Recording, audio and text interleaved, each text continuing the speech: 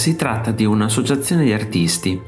La loro maggiore influenza veniva dal Fauvisme e le tre mostre che organizzarono risultarono troppo avanzate per pubblico e critica, tanto che subirono parecchie ingiurie.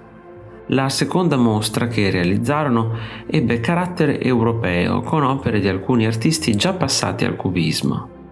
Franz Marc difese questa associazione e fu in questo modo che incontrò Kandinsky.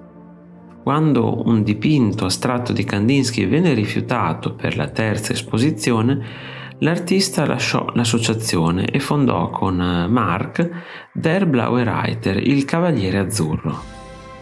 Kandinsky fu eletto presidente, Alexander Kanold fu il segretario e Adolf Erblosch il presidente del comitato per le esposizioni.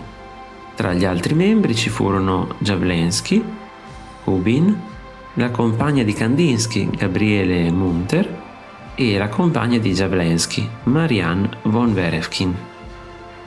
Questa associazione venne fondata nel 1909 e non durò molto. Già nel 1911 era la sua ultima esposizione.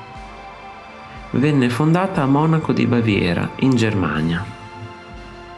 Il motivo della creazione di questa associazione sta nel desiderio di fornire un'alternativa più liberale agli spazi per esposizioni esistenti, in particolare alla secessione.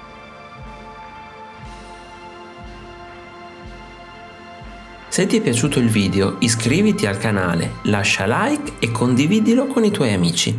Ti invito anche a visitare il mio negozio. Un saluto e al prossimo video di Arte Esplorando.